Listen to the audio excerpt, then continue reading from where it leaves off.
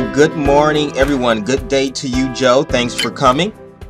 But um, I hope you guys had a wonderful, wonderful weekend. And um, now we're back at it again, looking for some high probability trading opportunities in the market. And um, of course, as some of you guys know, it's a holiday in Europe. It's a banking holiday.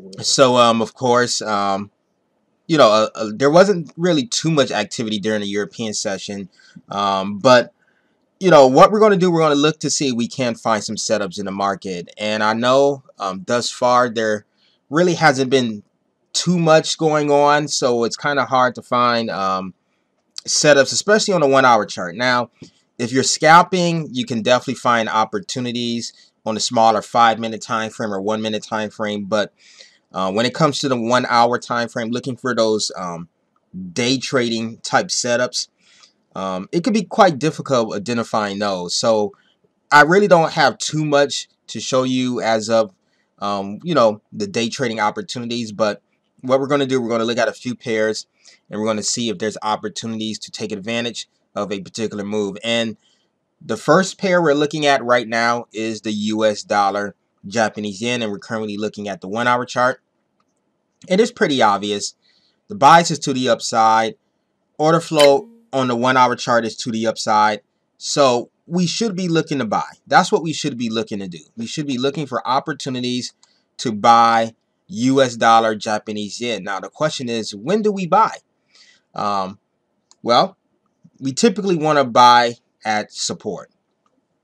And we'll talk about that later. But for now, let's see if there's directional confluence. Let's see multiple time frames support a bias to the upside. We can see that uh, one hour order flows to the upside. We have higher high, higher low, higher high. So the one hour order flows to the upside. So we should be looking to buy. But let's go to the four hour. How does the four hour look? Four hour looks very bullish as well. Order flow still to the upside. Um, and what about the daily? Let's do the daily.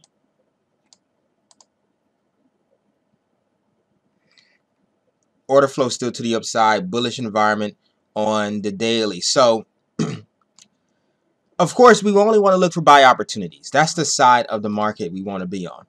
We want to look for opportunities to buy US dollar, Japanese yen. And if you look at this chart right now, we can see that price reacted to this 20 simple moving average line or this 20 hour moving average line, which coincides with this area where we see these wicks here.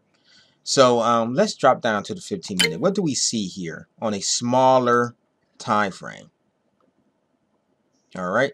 So yeah, this is the 15 minute chart of um, US dollar, Japanese yen. Yeah, yeah, good morning. Uh, well, hello, Bridget. Good day to you. I know it's um, not the morning over there, but um, but yeah, thanks for coming. All right, so right now we're looking at the U.S. dollar, Japanese yen, and there's a possibility we could see price um, push to the upside. The reason why is because, for starters, it looks like we have a three-wave pullback where we have a leg A, a leg B, and a leg C, and now price is pushing to the upside. So it appears as if we do have what could be a bullish um, move. But before we even decide to get in, I need to see price break and close above this level right here. This will be our break entry level. And we need to see price break and close above this level before we decide to buy. And I would like to see a break above and a pullback like price break above and then we can get a pullback to retest this area and then look for a buy. That's what I would like to see on US dollar Japanese yen. But you can see here that also price broke above this descending trend line. So, you know, it broke above this descending trend line and is testing this structure area right here. So, you know, we'll see. We'll see we can get that break and close above this level right here, which is at 136.846. That's the level that price is at at the moment. And, you know, once we see that, then we could be more, you know, a little bit more confident that buyers should step in. But you know, sometimes, you know, the market does what it wants to do. You know, you follow the rules and um, it could do something that you weren't expecting. Like, for instance, it could go, tag these highs, and then come all the way back and reverse on us. So, you know, that could happen as well. But um, what we're going to do, we're just going to stick to a plan, and we're just going to look for a buy opportunity, you know, as soon as price breaks this level. And um, we'll probably have a floating position. Or if you don't want to have a floating position, then you can um, you could target, of course, based on um, the Fibonacci of the pullback. You take the trend-based Fibonacci extension tool, start at the low, go from the low all the way up to the high, which is the origin of this correction or the end of that impulse, all the way back to this area again, and then you could just target the um, you know the 127 just to play it safe. But yeah, yeah, that's U.S. dollar Japanese yen. Now I think Marvin he has something he wants to share. Yeah, I just kind of want to briefly touch on this particular pair, U.S. dollar Japanese yen, because um, I kind of mentioned it last night when I wrote to the group. I kind of posted a chart of the price action and kind of showed how um, ever since the open, we saw it break to the upside. We saw a continuation of that yen weakness as a result of what happened on last Friday when the Bank of Japan decided to keep to their ultra loose, ultra accommodative monetary policy by keeping interest rates still in negative territory. Out of all the banks and major central banks around the world, the Bank of Japan has been the one that hasn't pretty much turned hawkish or tightened um, they haven't lifted rates um, above, you know, net into positive territory. So um, it's interesting that despite all that we see that's happening in Japan, despite what we see happening across the world, that the Bank of Japan is still, you know, holding on, you know, standing pat and just saying, you know what, we're going to still keep interest rates in negative territory at zero, negative 0.1%. But um, I wanted to point out a few reasons for that. Well, for one, it could be simply, it could simply mean that the Bank of Japan it could be privy to a possible breakdown in global demand or in the global economy. And um, you know, I'll touch on a little bit of that later on, and that could be the reason why they're choosing to keep rates low because for the world, even though we have the US dollar as the world's reserve currency, the Japanese yen is sort of like the world's safe haven currency or the currency that's likely preferred during times when there's a collapse or a breakdown or there's fear, or there's anxiety. So then they want that low negative yield in order to sort of uh, stay loose um, to, to serve as that, but also simply because um, you know they they they're more of an importing economy. They don't really manufacture that many goods. So in order to keep their products cheap, you know, they would rather prefer to have a negative yield on their their currency.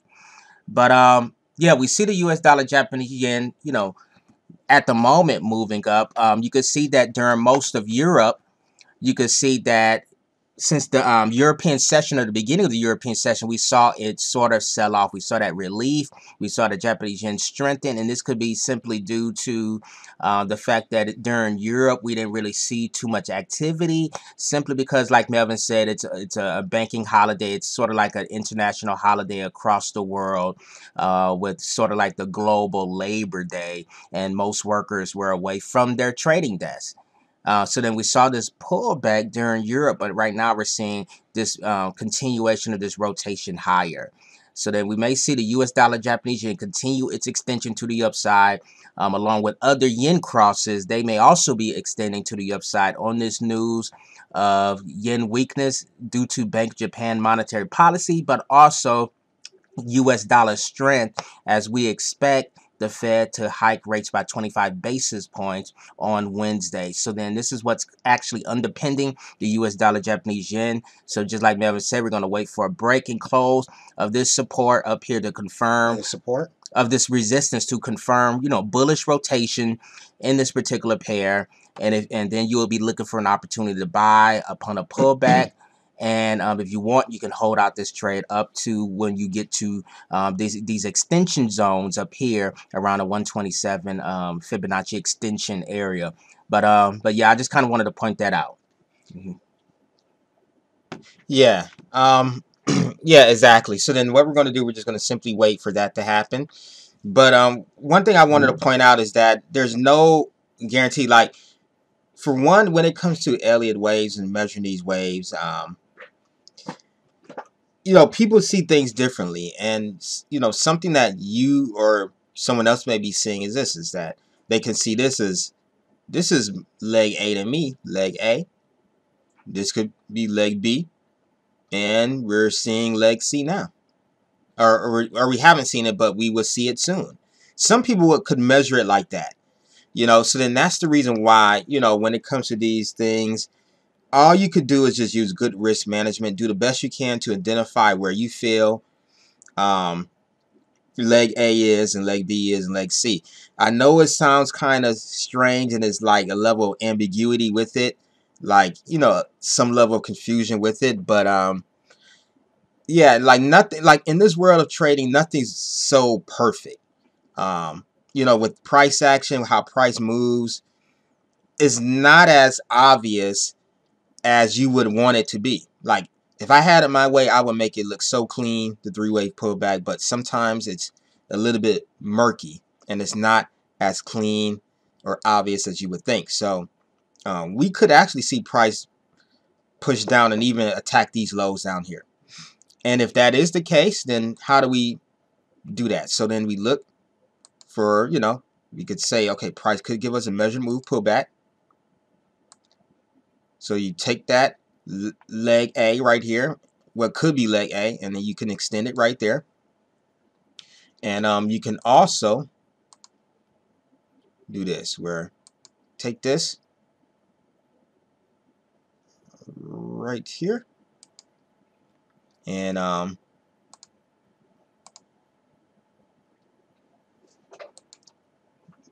measure the from the 0 to the 382 and that takes you right back into this low again this area right here where we could potentially see the buyer step in at mm -hmm. and um you know just we're just going to have this here just in case but um price could very well turn around from where it's at and break this area right here so you know we just want to have everything in place first you know before we mm-hmm. decide how we want to execute but but yeah this is what we're looking at right now on the Aussie, I mean U.S. dollar Japanese yen.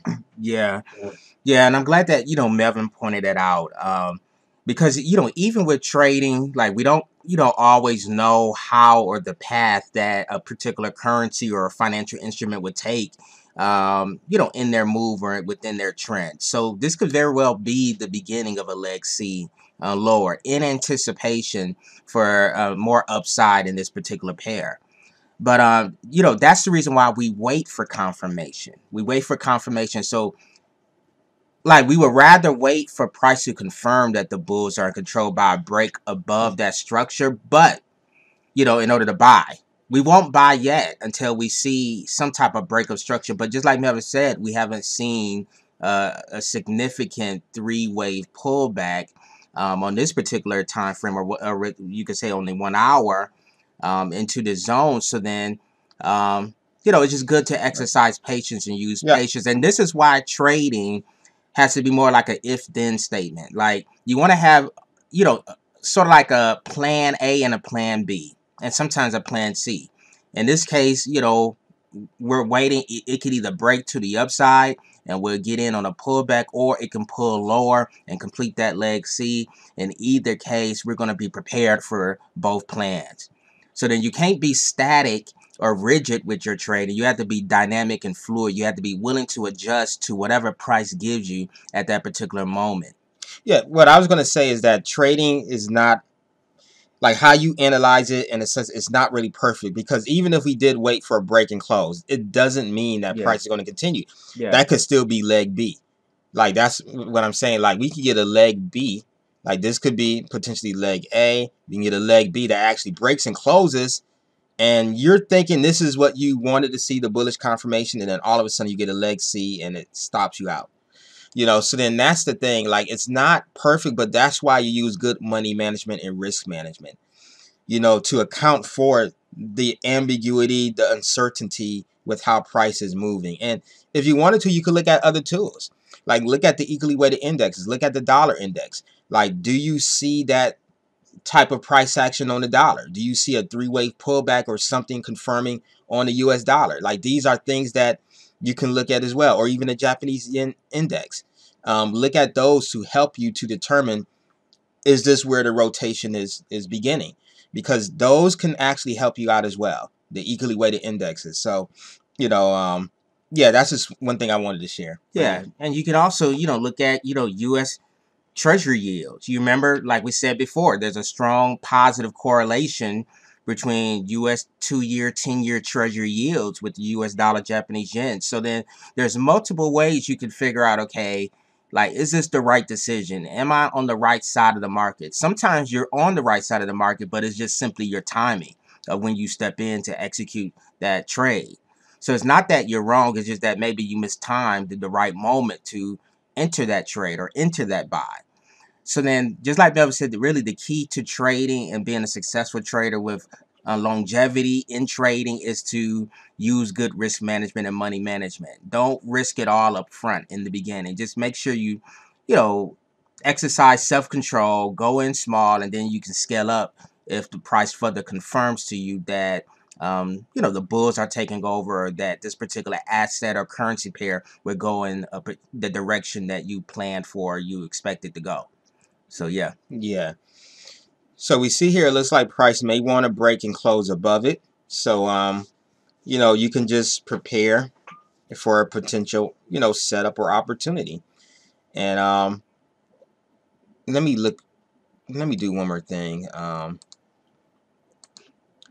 yeah, I know uh, we got this First Republic Bank. I'm pretty sure Mars going to talk about that later.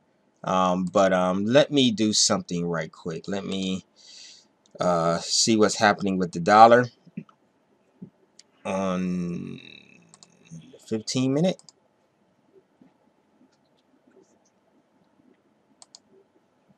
okay so we see the dollar is somewhat in a consolidation type phase um, right here and um, Japanese yen index okay so yeah the Japanese yen index looks like it wants to um, continue to sell off but um, even for this one right here, we could see price actually correct a little bit um, after we get this break.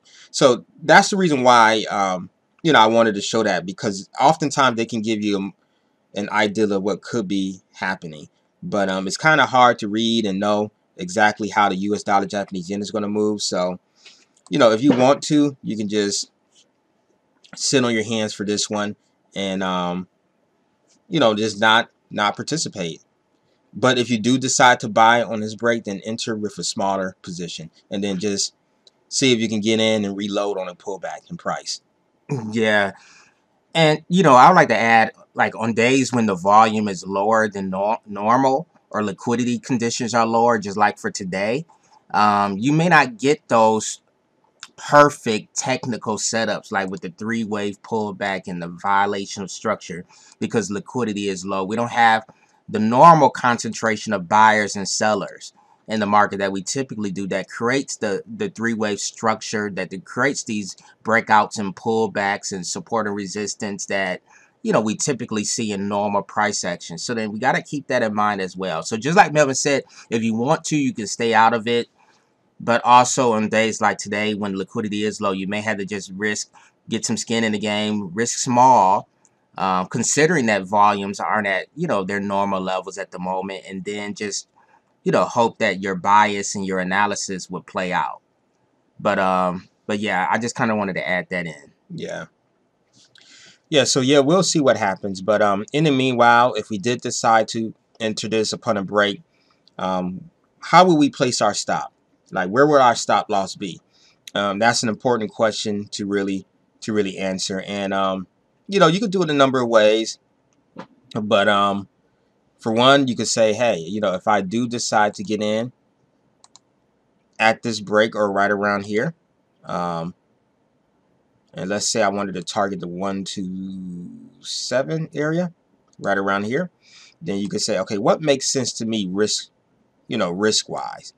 So um, you can just drag your stop here and and um, yeah, yeah. What you would do? Yeah, I know Marvin's shaking his head in the background. But what you would do, you'll just wait for a break and pull back and then a deeper correction you know because you're more like whenever you trade these setups on a one hour chart you know you're not going to like for scalping you're, it's okay with one to one risk reward but you know in this case you'll wait for it to break and close above and then a deeper correction to some area of structure likely right around here. Let me just draw that in.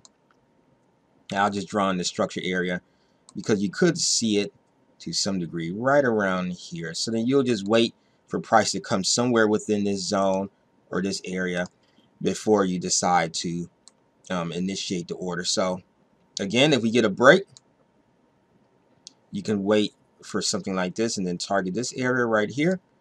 And then, um, yeah, maybe shoot for something like a 1 to 5 reward to risk. But what we need to do, we need to see a break of this level first. A break and then it pull back down into this area of structure look left structure leaves clues and then um and then um, look for a buy so yeah that's what we'll be looking for for um, this pair. So again break pull back and then boom. All right so yeah.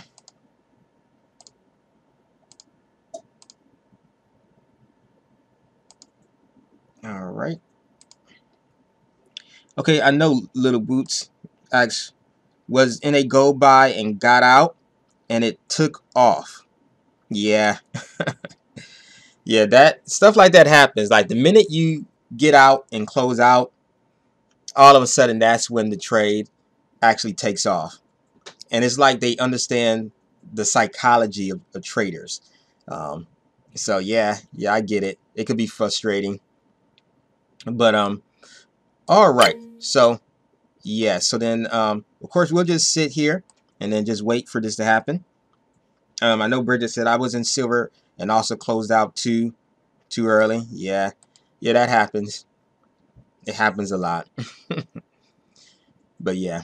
All right. Let me um add a price alert here just in case we do get this break and close above. Let me just add that right here crossing up. Once per bar close. And today is a new month, guys. It's May 1st.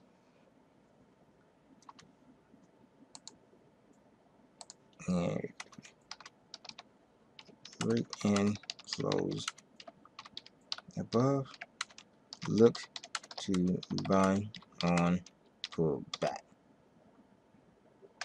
All right. So again, we'll be waiting for price to retrace to this zone, and then that's when we'll look for a, a potential buy opportunity and um, target this area right here. So, all right, are there any questions? Going once, going twice. All right. Yeah. Could be.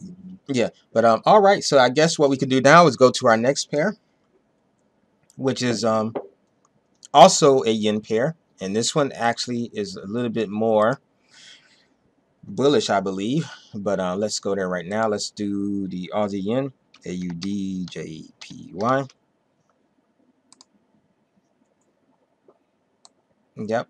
So so yeah for this one right here we're definitely seeing the bulls come in and push price up. I think we could be um, somewhat late but you know typically even for these setups I don't know if I would have got in anyways because like for me, I always want to get in around an area where I know there's structure or some support. Like it didn't even get to this 20 simple moving average line. Um, so like I know for me, I probably would have avoided um, this buy, you know, um, even though we see price going up right now. But typically, I want to see price get to, let's say, like this indecision candle right here that I'm about to highlight right there that indecision candle right here, right around here, this zone, that's where I would like to go because that's where I know uh, one hour demand may be located. So, of course, we didn't get that because momentum is pretty strong to the upside. And it seemed like, yeah, it seemed like price came down to this area where we had these anchor points right around here. And um, pushed higher. Actually, I'm going to start doing more tests on um, Aussie yen, and there's a reason why. Um, there's a reason why. I think I mentioned it um, to some of you guys um, before, but um, but yeah, you can see the price came right down to this level and then popped up. But yeah, let's see how this looks in a 15 minute or even smaller time frame. Because I think this move is primarily due to the yen selling off. When we looked at the yen index, it was, you know, really selling off. So, um, all right. So then from here, we see that price did break this level right here. So, well, we get we got the break right here. But yeah, what we could be seeing is this. Um, price pushed up, formed this double top. And then we had a breakdown. This could be leg A, leg B, leg C. And um, price broke the high right here with no pullback. Just like Marvin mentioned, sometimes you won't see that during low liquidity times. You won't get the pullback that you're looking for. And um, price actually just kept expanding higher.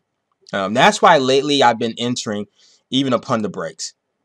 Like those that's been with us for a while, you you know how before I used to get in on a pullback. After a breakout, I'll wait for a pullback and then try to get in. But lately, um, you know, quite a number of times it doesn't happen. And you could be waiting for a setup for a while.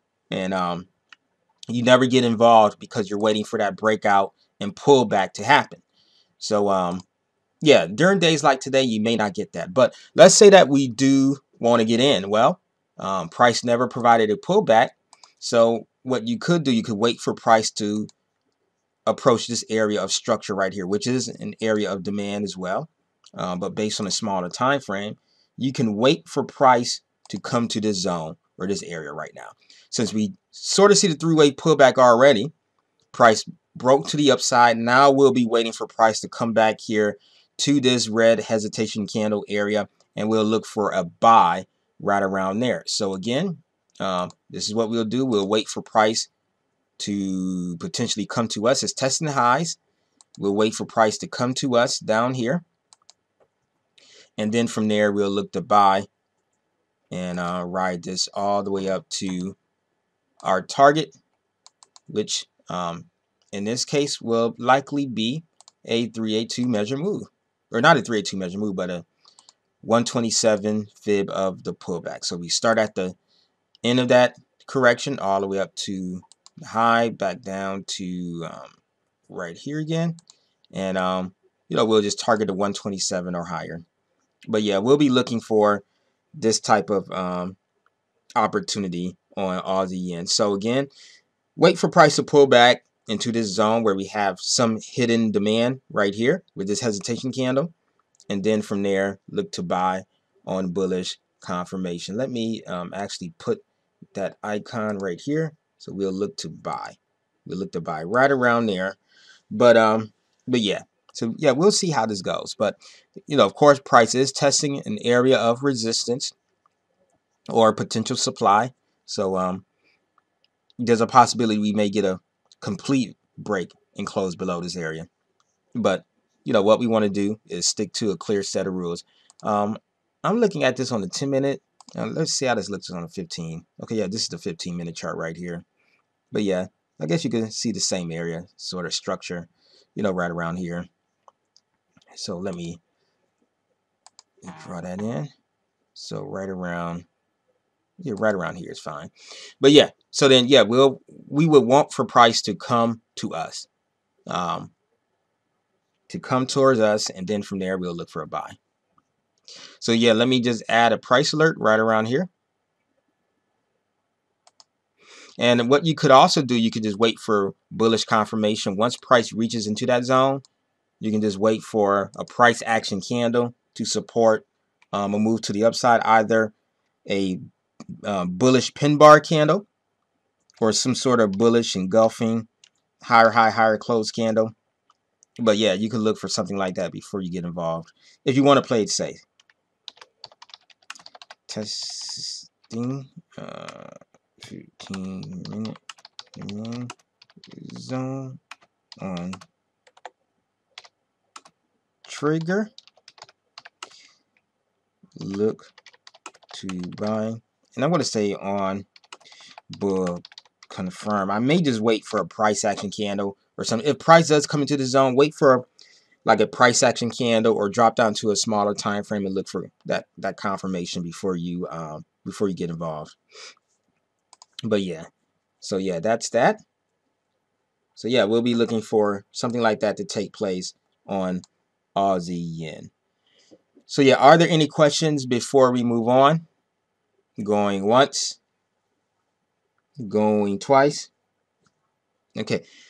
I'm going to quickly do one more setup and um see how that goes. So let's do pound USD. But first, let me um see how did the US dollar Japanese yen form? Um, did we ever get a break or no? Because I didn't see no alert. Nope. So the alert did not come on.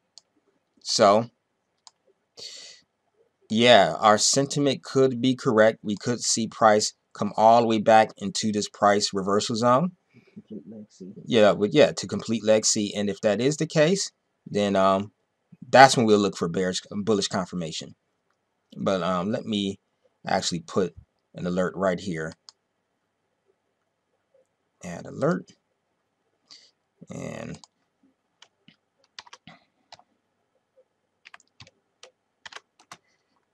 you say price testing minute PRZ area. Look to buy on 15 minute will confirm. All right.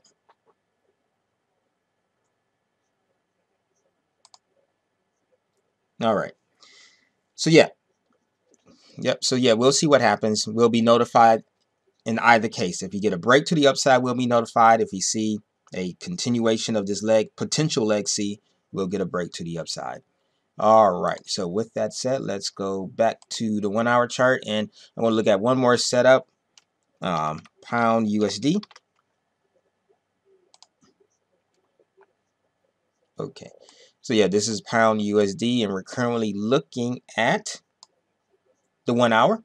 And as you can see, really for this pair, the overall order flow is really to the upside. That's why I'm a little bit hesitant on, on selling.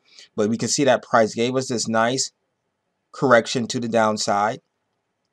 And, um, you know, I was going to look to sell, but I don't know yet. Like, I don't know right now. Like I may just sit on my hands on this one and not do anything. Uh, because if you look at it, the order flow is still to the upside. We still got bullish order flow on probably multiple time frames. You even go to the four hour chart. What do we see on the four hour? Bullish order flow to the upside. And um and then to the daily, what do we see? Uh, pretty much bullish order flow. But what may lead me to consider going short is the fact that we see price responding to this ascending trend line resistance. Right?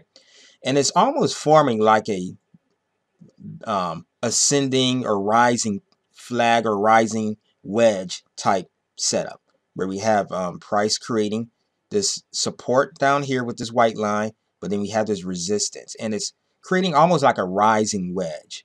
So whenever you see that, that signs that price or momentum is weakening and we could potentially see a rotation soon. So, um, yeah, that's the reason why I was looking for a sell, but I don't know right now.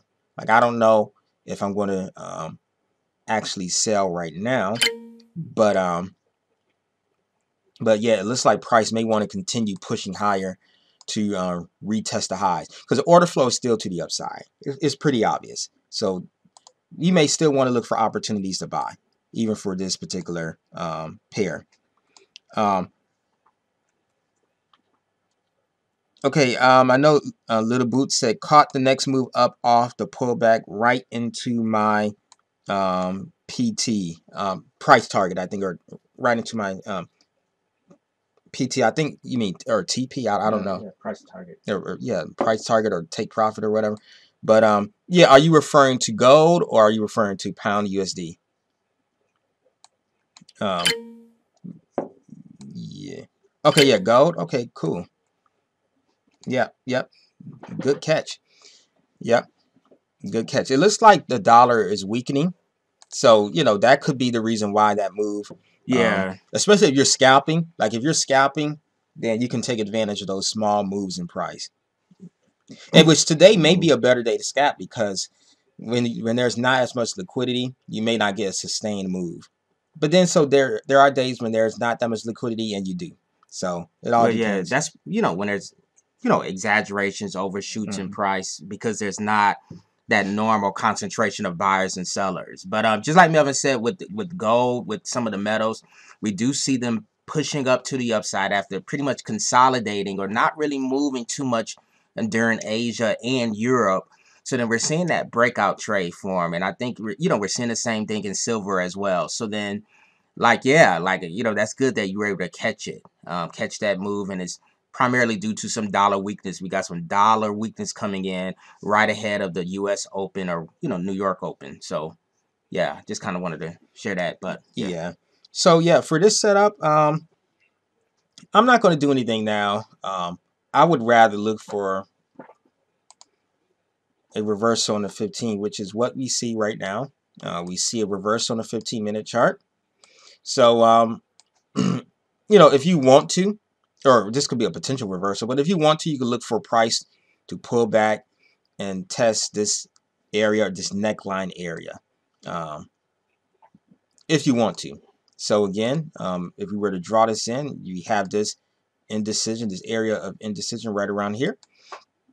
You can just simply, you know, like right around here where the neckline is, you can simply wait for price to come to that area and then uh, look for buyers to come in. It seems like price did that right here with this wick, came down, wicked this area, and then pushed back up pretty strong. So then you might have to sit on a smaller time frame yeah, yeah. But I don't know if you guys can see it. Like if you, oops, um, uh, let me, uh, let me delete that. Let me delete this. Um, you know, if you just zoom into this area right here, you can see that um, price broke this neckline area, but when it opened, it came down, wicked to this zone, and then popped up. So then that could have been the time when the buyer stepped in But, yeah, retest this level, and then we see this push to the upside. So, um, I mean, hopefully we can get another opportunity to go back in. But um, you know, something like that's the thing when it comes to waiting for pullback, it's like catch twenty two. Um, it's great to wait for pullbacks, but sometimes you're going to miss out on quite a bit because price doesn't give you the correction you're looking for. So um, you won't be involved in. Yeah, exactly. And you know, I was gonna say even for this breakout, like like the more you trade, the more you'll you'll notice that there are times when we don't get the pullback to where we know the buyers were previously. Um, because you know what makes this a good zone to buy is simply because it broke through resistance. What was once resistance becomes support, and we know that there's a lot of buying momentum at these levels to sort of create that impulse and that breakout to the upside. So then you, you always it's always safe to buy where the buyers are or to buy wherever you see demand is on your chart. So then that's the reason why, you know, it's more safer to wait for the pullback. But just like Melvin said, sometimes you don't get it because the momentum after that breakout can be so strong. So then it's up to you on how to trade. I know for those that are less aggressive and more conservative, they wait for the pullback because after every impulse, there has to be a correction at some point, even if it's hours later, even if it's, you know, minutes later, it varies depending on how strong that move is and how volatile that move is. But at some point, it's going to have to pause. It doesn't just keep going up in a straight line.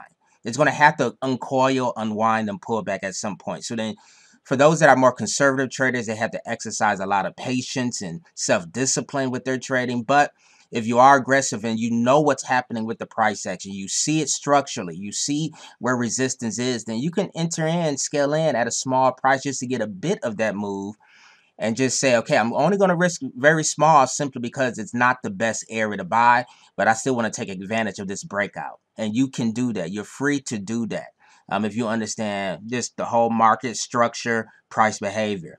So, um, just like Mel always said, there's multiple ways to skin a cat. there's multiple ways you can, you know, you can trade and be effective even as a breakout trader. uh, even if you don't like waiting for pullbacks. But the preferred way or safest or the most risk averse way to trade is to sort of buy where the buyers are and sell where the sellers are. Mm-hmm. Yeah. So we see here a continue continuation of this expansion to the upside, and um, you know what you could do if you want to. You can see how far price could expand. You can take a fib extension of this move right here, and then you can measure to see okay where could price be heading, and we can see that price is looks like it wants to break above that 161.8 um, level, which means that um, yeah, this is a strong move to the upside. You know, we're testing structure to the to the right or to the left, mm-hmm. and um, yeah. So then that's probably the move. Like this move is probably most likely due to dollar weakness, um, U.S. dollar weakness. But we do see um, some level of resistance or structure right around here. Hopefully this will hold, but you know, there's no guarantee. But yeah, what I would like to see is a pullback, you know, to this area down here, and then um, an opportunity to get involved. Um, let me do something. Um, I'm going to move this up a little bit higher because we do also have these wicks. Like from this from this candle right here, it created a nice wick rejection. Um, right around here. I don't know if you guys see it, but see this candle created this nice wick right here. And sometimes you can position your pullback trade based on that. You know where buyers came in at historically. You could say, hey, there's a possibility we could see this area retested right here. And then um, you can set a pending buy. Yeah, yeah, and then look for the buyers to come in, you know, right around here, which you know will move everything up. But yeah, this is where we could see, you know, potential buyers come in at. Just look at the wicks. The wicks tell you where the buyers can come in at. Just like this last time. You see this? How we see there's wicks right here. There's double wicks. Price pushed up and then came back. Where did it come back to? Right to the wicks. Right to the wicks to the left. Right to the wicks and popped up. So then, you know, look at stuff like that when you're planning your trades. Look to see where the wicks are. Wait for price to get to those areas where the wicks are because those areas could tell you where the buyers are in the market. So again, you know, if I'm looking to um, buy, I'll look to buy right around this area right here where the wicks are. And um, you can wait for a price action candle and all that good stuff. So then let me just place a price alert right here. So I'm just going to place a price alert, add alert. And um, just going to say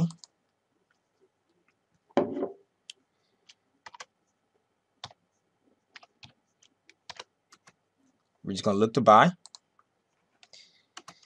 price testing.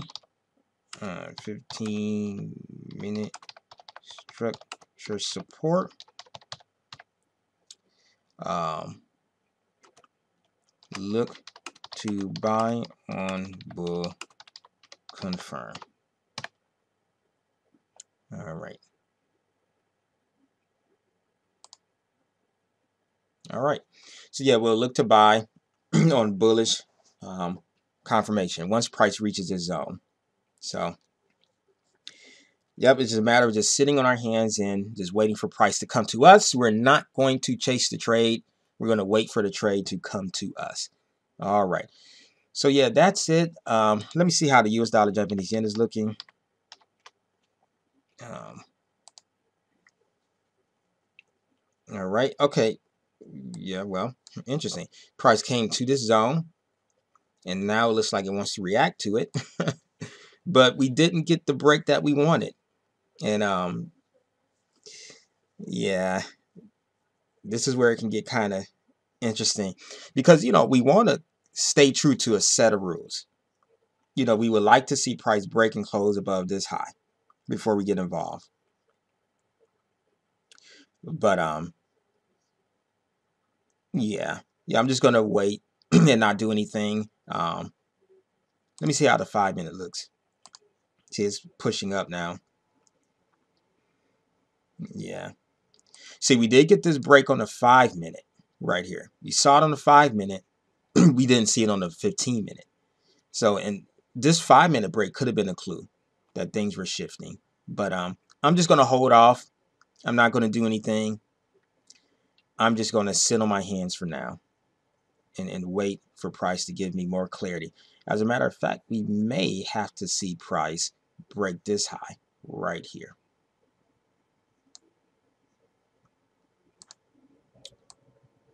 Now that I think about it. Yep. Like if it, if it could break this high, then we definitely know for certain that momentum is, is definitely shifting. So um it's up to you. If price does break this high, let's say it breaks this high on a five minute and it closes above it, then if you want to, you can enter your buy as long as your stop is behind this swing low. So if it does break and close above this level on the five minute, then you can, you know, look to get in uh, and just enter immediately and just, just place your buy. Um, you know, place your stop behind this this low right here. Um, if that makes sense. So yeah. But um all right. Yeah. Yep. But yeah, this is US dollar Japanese yen. You know, we'll definitely come back to that um, in the near future. And um, what else did we look at? Yep. Uh, we looked at Aussie yen as well. How's that looking? Yeah, that one just kept pushing up. Didn't give us no opportunity whatsoever to come in and get involved. Yeah. So yeah, this is one example where we would have loved to get in at this immediate break, but price kept expanding to the upside. So we missed out on this one. Um, yeah, perfect example. Yeah, because I don't think price is going to. Well, it could pull all the way back, but if it pulls all the way back, then I'm not looking to buy. Um, because at that point it would break invalidation, momentum could be shifting, and we could be seeing a rotation in price. But yeah, like this is just one setup that we missed out on. And it's a perfect example of what we've been talking about. Sometimes, a lot of times, you'll miss opportunities because you're waiting for a specific thing to happen. And um, it could be a pain because you, you've been waiting for this opportunity to happen for hours. And the minute it's time for you to execute, you're not able to execute because you're looking for certain things to happen first. So, you know, this is a part of trading. That's why it really helps you and your patience level you know, as a, as a trader. Uh, it helps you to develop patience, and um, when it comes in life, like anything in life. But um, but yeah, so yeah, we probably missed this one out, missed this one. So then we can just delete all of this and then plan for the next setup. But yeah, what I'm going to do right now, I'm going to pass the mic over to Marvin, and um, and then we'll just take it from there. And um, yeah, but yeah, but yeah, let me do one more thing before I even do that. I want to go to the US dollar Japanese yen because if price does break close above, um, what would our stop have to be? So then if you do do that, it would have to be at least an 18 or 19 pip stop. 18 or 19 pip stop. But um, but yeah, I just wanted to do that. But yeah, I'm gonna pass the mic over to Marvin.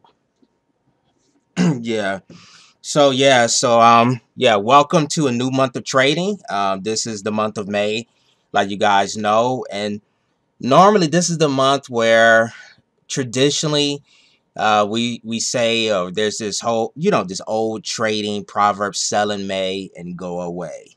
Um because um of course this is the month ahead of when we start seeing that summer malaise, summer volatility come in as the kids exit from school, they end the school year, and as summer vacation season starts up, we typically see a breakdown or sort of like a slowdown in momentum and in, even in market conditions. But we may not get that this year um, simply because of all the dynamics that are sort of um, influencing price action at the moment and is behind, you know, most of the underlying moves in markets. We may not see that selling may go away, that seasonal um, proverb play out. So um, but yeah, so then we're in a new month of trading, but in this new month of trading, in this first week of trading, it's gonna kick off to you know, a strong start. And we already woke up to some important news um, this morning. We all woke up to the news about First Republic Bank um, actually assuming all of the deposits. Uh, or no, JP Morgan assuming all the deposits from First Republic Bank, which means that there will be no longer any FRC or First Republic Bank. It's going to all be JP Morgan. So then let's go to FRC real quick. And just see what's going on. And you can see right now that, you know, and it's actually much lower. It closed at $3.51 per share on last Friday. But where is it now? Where is it now in the pre-market?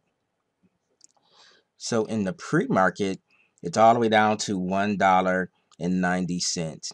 it's going to gap lower for today. But um, you can see this oppressive decline. It pretty much lost most of its value in like the past, what, three months, two or three months. This has just been such a strong tumble in this particular banking stock, um, this regional bank stock, which of course brought some of the earlier fears over uh, regional banks. But um, we see this impressive tumble ever since February uh, from the highs here all the way down to where it's only $1.90 per share. So then we know that it's going to be swallowed up by JP Morgan, I think. Um, you know, you can see here. Um, you can read some of these articles later that JP Morgan Chase acquires substantial majority of assets and assumes certain liabilities of First Republic. Uh, JP Diamond or Jamie Dimon gets over financial crisis, laments you know, of course, that's the major news that's going to pretty much motivate uh, most of the price movement as we move into the Wall Street Open. Everyone is waking up to this news. Uh, First Republic Bank being bought by JP Morgan. And at some point, we knew that one of the big banks were going to step in because they were told by the FDIC to submit bids. They were kind of like ordered to say, all of you banks that we've sort of given um, you know, a pass to or we're giving unlimited cash to, like your JP Morgans, your Wells Fargo, those big banks. Like for all those banks, they're like, do something, come up with a bid for, you know, FRC because we can't afford to allow this bank um, to fail or this bank to collapse because the reverberating effects of that. So then we did get that this morning. And in some way, we still see you know, the market sort of, how can I put it? Like, you know, we're seeing, excuse me, we're seeing somewhat of an impact in the regional bank sector. Let me just put this up real quick because there's two indexes that I want to show you guys. There's this, there's FRC, and then there's um, KRE, which is the regional bank um, e ETF.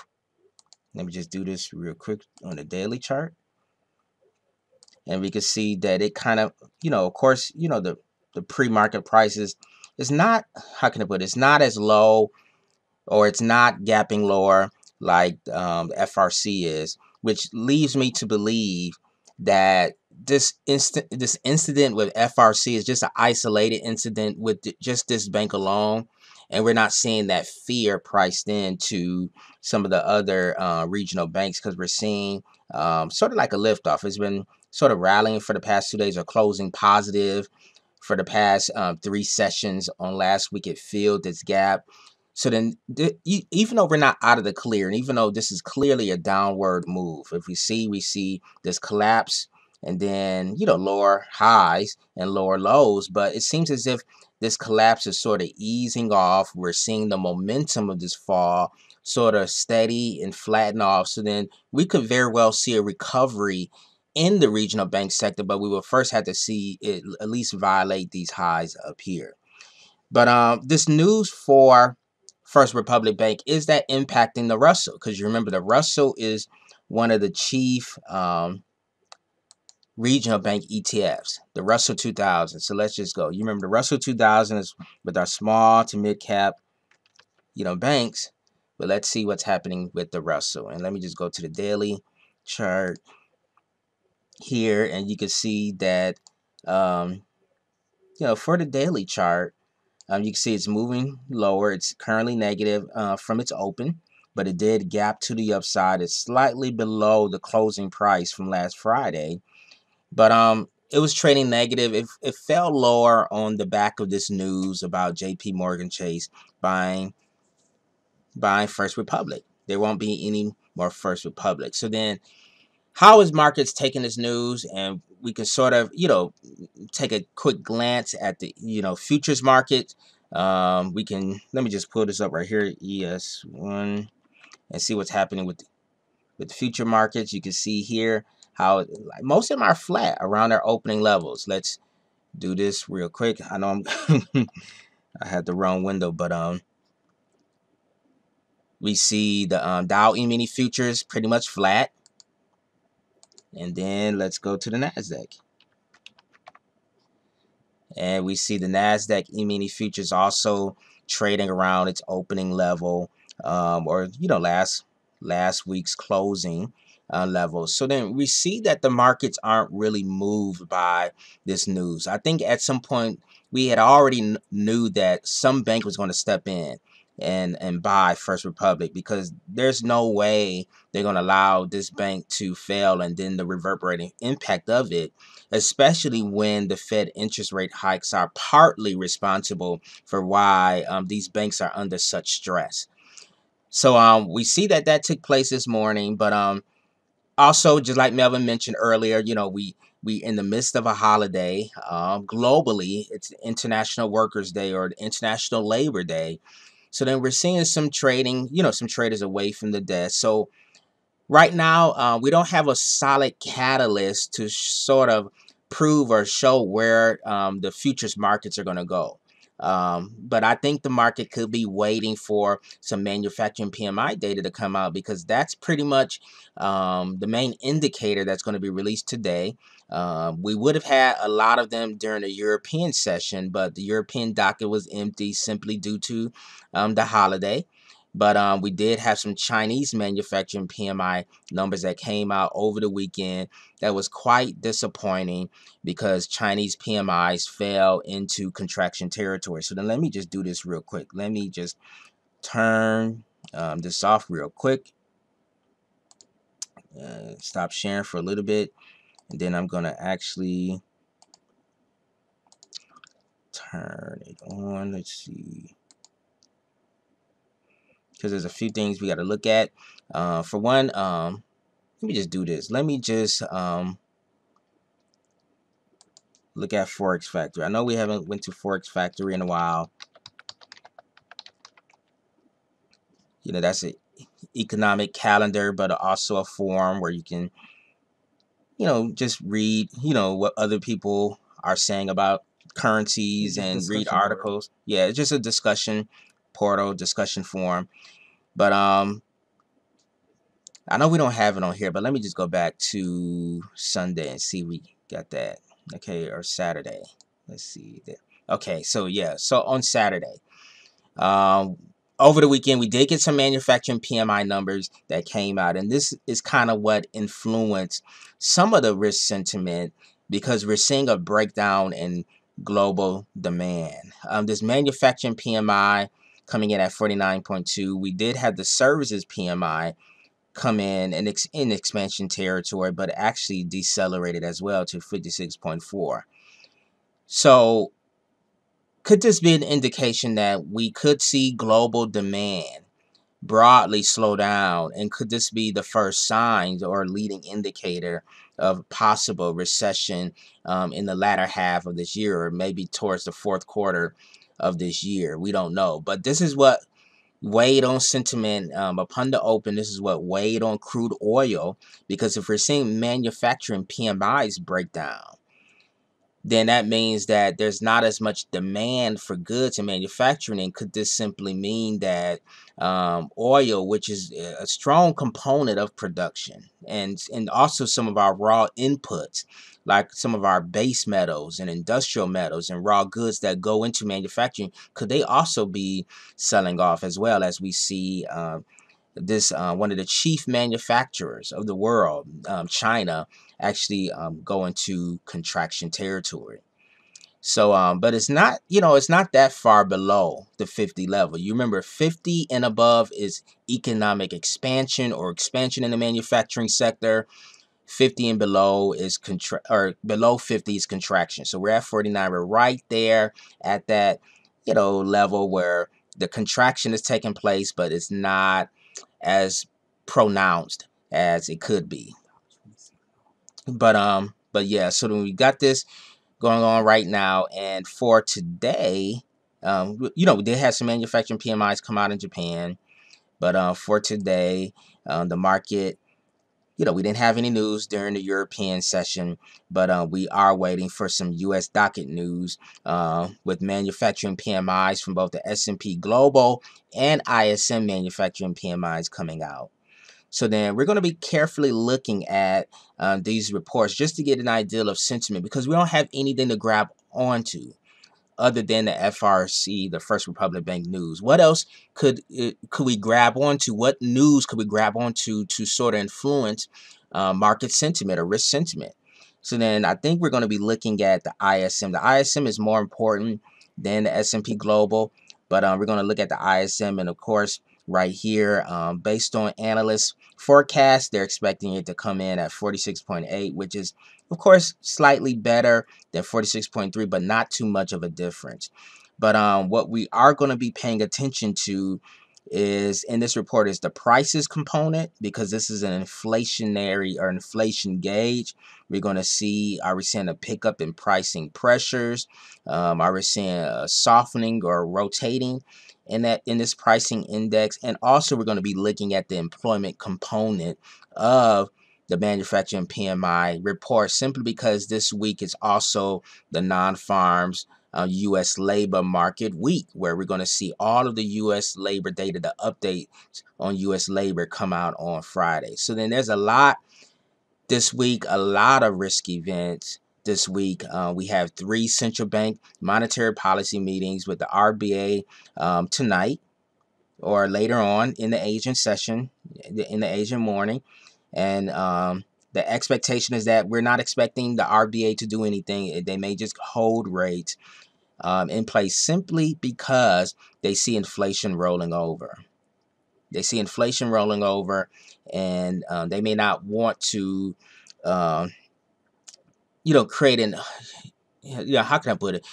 like you know there's al- already signs of, of, slowing down in the australian economy so then they may feel like where there's already a huge backlog of rate hikes that are still waiting in the pipeline to impact inflation and to impact their economy so then let's just hold off until we see those rate hikes you know come through and make their impact into their economy but their monetary policy statement is going to come out this evening or in the Asian morning. And then we also have the Fed um, that's going to report their interest rate decision on Wednesday, followed by the ECB, which is going to report theirs on Thursday. So then this is going to be a heavy week where we got labor data, we have PMI data for both manufacturing and services sector. We have, you know, non-farms on Friday. It's just a lot going on this week. So um, it, it's going to provide for some volatility um, after today. Today is sort of like a special day simply because it's a holiday, but on Tuesday, uh, moving throughout the rest of the week, we should see some volatility um, pick up and kick in as um, these um, reports start coming out. But um, but yeah, the RBA is tonight. So, um, but yeah, let's see what's happening um, in earnings. Um, I know this is earnings season. We've already had about roughly 50% of U.S. earnings already come out. So let me just go to the Twitter right here.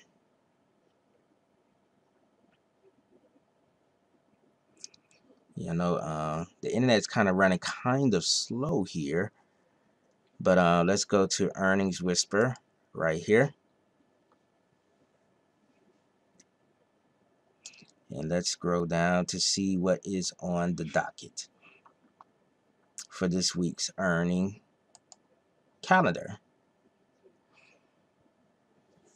So yeah, so then this is pretty much a list of some of the companies, a good portion of the major companies and reports that will be coming out this week. And um, this morning we did have SoFi, um, Norwegian Cruise Line, those uh, particular companies come out. Um, I haven't had a chance to check on their earnings. Um, I may do that in a little bit. But then after the close, we have MGM Resorts, uh, MicroStrategy come out.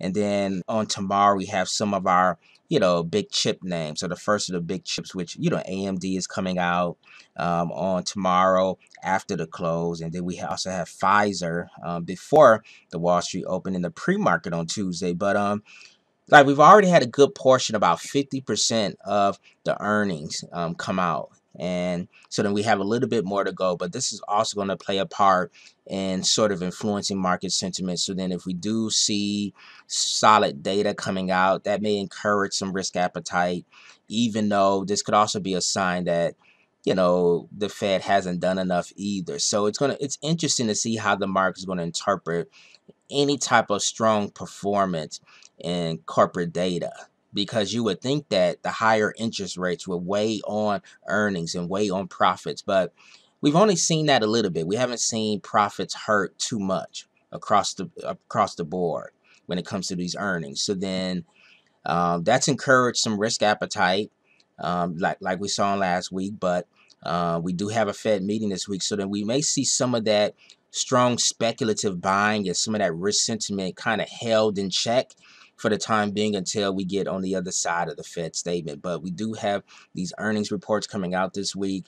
So then, uh, for those you guys that do trade stocks, options, um, you know, just pay attention for opportunities to enter in on um, these reports. So yeah, but what did SoFi come out as? Let's see what their earnings were. Let's go down. Okay, they beat revenue estimate by 5.3%, beat guidance by 3.4%. So, okay.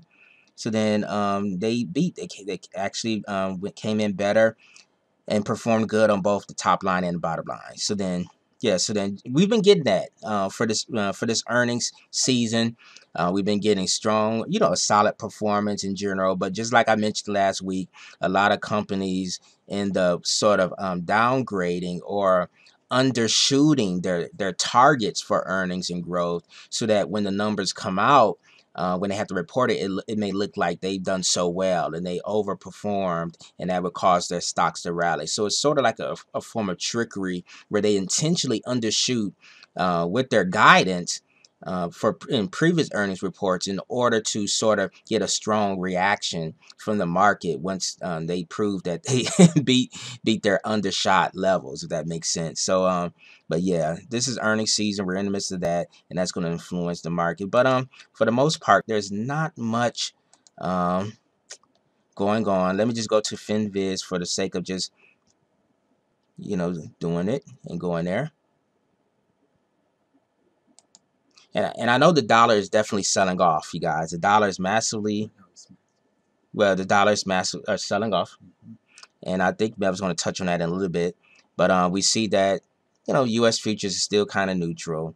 Um, you know, the, the, the really the futures heat map is sort of mixed. Uh, we're seeing crude oil still selling off um, as a result of lower demand, and lower global demand, or, the, or them expecting um, you know, lower lower demand for oil as manufacturing may slow down.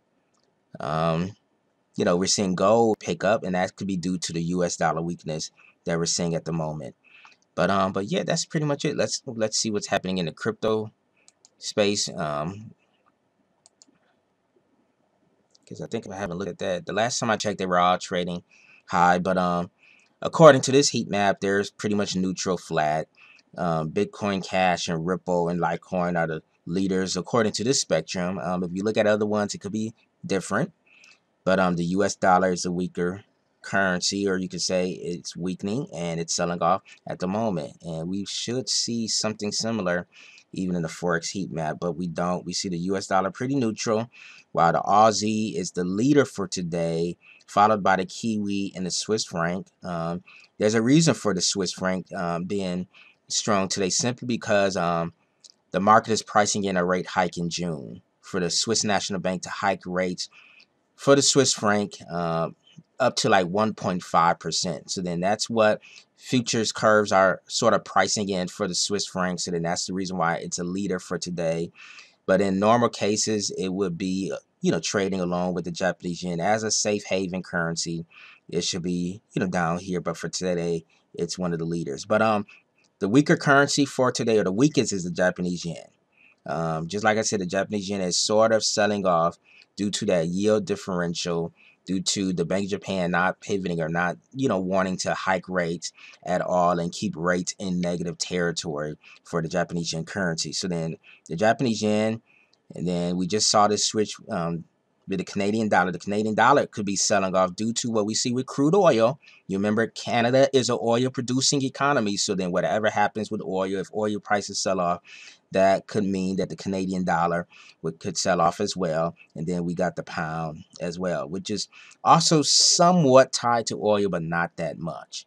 Um, there could be other reasons why, you know, the British pound is low and selling off, you know, at the moment. But um, but yeah, that's pretty much it for the fundamental news. Um, it's a light day, so then trade based on what you see with the technicals, and we will be definitely later on this week touching on um, the Fed statement. Um, but for now, I'm just gonna leave that for another time and pass the mic back over to Melvin so he can finish uh, the rest of today's webinar. Yeah, all right, guys. Yeah, I won't be with you for too long. Um, may keep it brief and short. Um, we may open the war room today and look for some um, or you know some decent setups. So, um, but yeah, um, let me actually go back to the charts again. So uh, let me do this.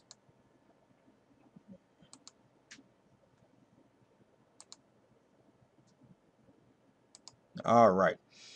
So um yeah. Yeah, we're looking at the charts. While we're here, I might as well just stay with the NASDAQ. Um, because I definitely want to talk about that. Um the NASDAQ right here. This is the E-mini futures. Um you can do QQQ, NASDAQ, E-mini futures. You can even do US 100 or NDQ. Um, so, yeah, let me just do here. All right. Oops, let me remove this. Well, I'll try something else. Um, let me just do US 100. And I'll just do currency.com. All right. And let me just delete all of this. All right. So, all right. So right now we're looking at US 100, right? And we're looking at the daily time frame. Actually, if you wanted to, you could start at the weekly. And um, you can just get a feel for what's been taking place. And as you guys know, um, price gave us this measured move to the upside on the weekly. We had this move. And um, it sort of gave, it's not a complete one-on-one measure move, but it's sort of like a measure move uh, to the upside maybe like a 382 measure move. But we can see that price is responding to this area of structure to the left. Look left, structure leaves clues. This very same area is an area of supply. So this is what this is where weekly supply is, but you know, we can see that price is reacting to this zone and to this, you know, th this area right here. Plus, we see stochastics is overbought on the weekly, so we know that price may rotate soon. It's, it's going to take days for, for that to happen, but we could be in the middle of a possible slowdown or rotation in price. Now, going back to the daily time frame, what we see here, we see price has been consolidating right around here, but lately we've been having some strong moves, some strong bullish candle moves, which means we could potentially see a bullish breakout of this level, and we sort of did get get that on Friday. However, I don't really consider this a clear breakout. This could be, could be a false break. And we could see selling pressure come in. So then uh, what I'm going to do from here, for one, I'm just going to, for starters, identify this zone of consolidation. So we have this area of support, and then we have an, an area or zone of resistance right around here. And price could be channeling back and forth between those two zones. Let's go to the four hour though. Okay, so right now we're looking at the four hour chart and what we can see here is that it seems like price may want to slow down and rotate to test this zone right here. Um, so I'm just going to draw in this particular zone of potential demand right here or, you know, structure uh, what we can call this four hour demand. And there's a possibility that price may want to come down to this zone and then push higher before sliding lower again. Or it could just come down to this zone and push higher and uh, continue its expansion to the upside. But um, as far as what we think could happen, based on these past few candles, there's a possibility we may see a sell-off in the NASDAQ. Maybe for the remainder of the day. Who knows? But um, what we want to do next, we want to drop down to the one-hour chart and see what's happening. But um, yeah. Also, yeah, yeah. I wanted to point out also that you can see the last time price came into this area, we saw topping on the four hour. So, you know, every time it comes and tests this area, we see topping on the four hour before price touches this zone right here. So what I'm expecting is topping again um, on the four hour, but we may not get that. Price may continue to expand and break higher, which means that, hey, we're definitely in an environment where the buyers are exceeding the sellers and we're in a bullish environment. We need to look for buys. But for the most part, price is touching the zone. There's a possibility we may see a deeper correction on the four hour. If you go down to the one hour chart, um, right here, go down to the one hour, we see what could appear to be a potential reversal taking place. Um, for those who are familiar, what do we typically call this when price comes up like this and we see a full 100% retracement? What is that typically called? For those who's been with us for a while, what do we typically call that? I'll give you guys a few seconds to maybe chime in. But um, okay, so Naomi chimed in. She said a V top. Bridget said a V. And the both of you are correct. What we see right here is a V top. A V top, which means that price could correct higher and form what? Form a head and shoulders type setup. Right? Right? Yep. Adam, a head and shoulders setup. So then that is something that could potentially take place. However, um, just look to see where the order flow is. On this particular pair, order flow is really still to the upside. Um, you know, we can see that even on the four hour chart a little bit better. Um, order flow is still bullish and it's still to the upside. So um, if we do decide to enter a short, we definitely have to be extra cautious. What I would do, I'll wait for price to correct, maybe into the zone. Remember, look at the wicks, because the wicks tell you where the sellers came in historically. And we can see that in the same area on multiple occasions, price came to this zone, this area, and then we saw the sell-off. We saw the sell-off. So then look at the wicks. And the wicks tell you where the sellers are. So then right around this zone right here is where I think we could see some sellers come in at.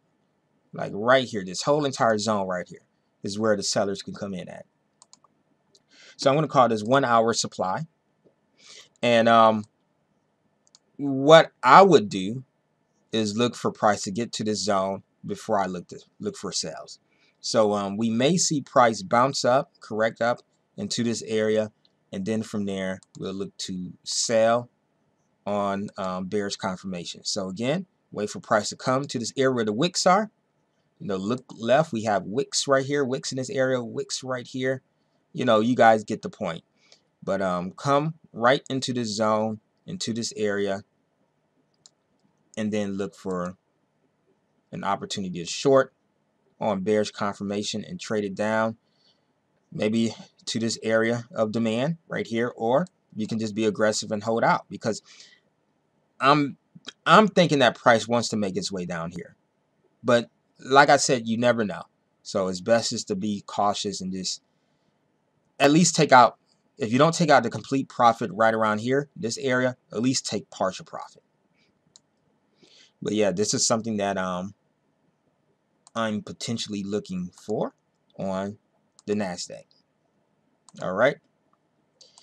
So yeah, we'll be looking for eventual um, sales after a correction in price. Price may continue to want to sell off, but in either case, uh, we want to stay on the side of, uh, of bias. So then if we do see price come up into this area, then I need you to drop down to a smaller time frame and enter on bearish confirmation. So, you know, right in the zone, when price gets into the zone, drop down to like maybe the 15 minute, 10 minute, or at least the five minute, and then um, look for that bearish confirmation before you decide to execute a sale Because the order flow is still bullish, and we could still see price expand up. So um, just be aware of that. But yeah, this is the NASDAQ. Are there any questions about the NASDAQ before we move on? Going once, going twice. All right. And um, I'm going to do one more. I'm going to do gold, and we're going to call it a day. And so let me do gold.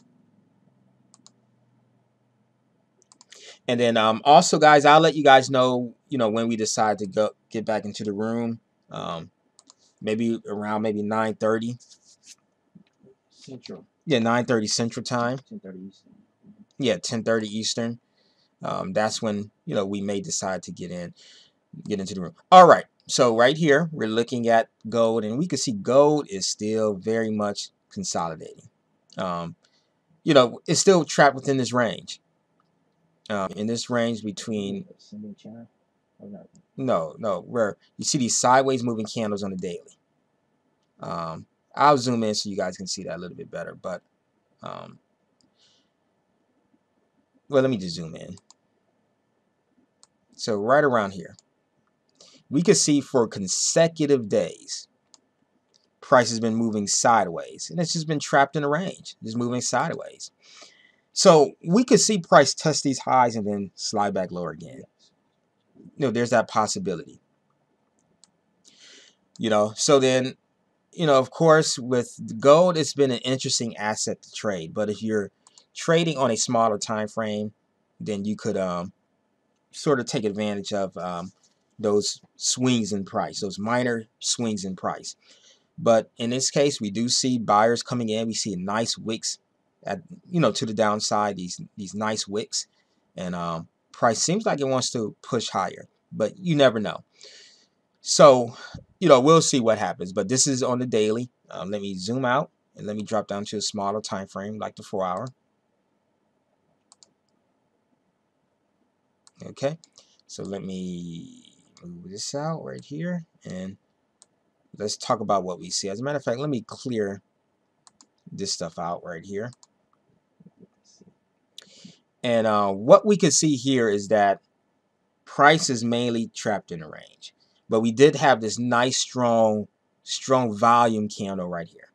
Nice, strong, bullish engulfing volume candle. Which could mean that things are shifting, but, you know, we don't know. You know, there's no guarantees we could see the reversal. Price will literally have to break and close above this entire zone in order for us to know for certain if the bulls are taking control. So with gold, it's pretty interesting, but um, if you want to trade on a temporary side of momentum, then you'll look to buy. Look to buy gold on a pullback in price. Now, um, let me go to the one hour. So this is the one hour. Um, you definitely see price breaking this high right here. So then we definitely want to stay on the side of, of buying right now. buying gold. So um, it's only one hour. Let me go to the 15 minute. Okay, this is the 15 minute. And um, what about the five minute? This is the five minute. So um, yeah, the reason why I look at all these time frames is because you know you want to see if there's some level of hidden demand. You know, at all these time frames because that can help you to decide how you want to trade this. So in this case, um, you know, we don't see anything recent right here on this nice move to the upside. We do see an area of demand down here, but um, this move was very parabolic. So then my assumption is that we should see some type of demand, maybe where um, 20 hour moving averages or something like that. But but yeah. So yeah, in this case, um, yeah, we'll be looking to looking to buy, um, looking to buy gold. Look look for opportunities to buy the pullback and the dip in price. So yeah, um, yeah, I would probably maybe this area maybe. Um, look for opportunities to buy. because we don't see anything to the left until price gets to this area. So price may want to come right down to this zone before we actually, you know, get what we want to look for. So again, let me make sure. Okay, yeah, that's visible. So going back to the one hour. This could be a particular zone that we could wait for price to approach. So yeah, we'll see what happens. But anyways, that's it for today. Thank you guys so much for coming to today's session. We really do appreciate you guys. I'll let you guys know when we enter the room. I'll post something in the private chat. But um, I hope you guys got something out of today's session. And, and like we always say at the end of every single meeting, remember to always count your blessings, not your pips. And we will definitely, definitely um, see you guys soon. You guys have a wonderful rest of your day. And um, yeah, we'll definitely talk later. All right, guys. Talk to you later. All right. Okay, bye.